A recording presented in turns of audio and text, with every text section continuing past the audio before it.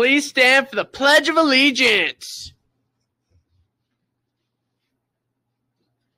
I pledge allegiance to the flag of the United States of America and to the republic for which it stands, one nation, under God, indivisible, liberty and justice for all.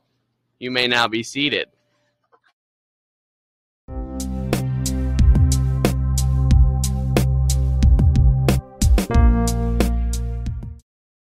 Good morning, Rams. Today's lunch will be pancakes, sausages, potato triangles, dragon juice, and applesauce.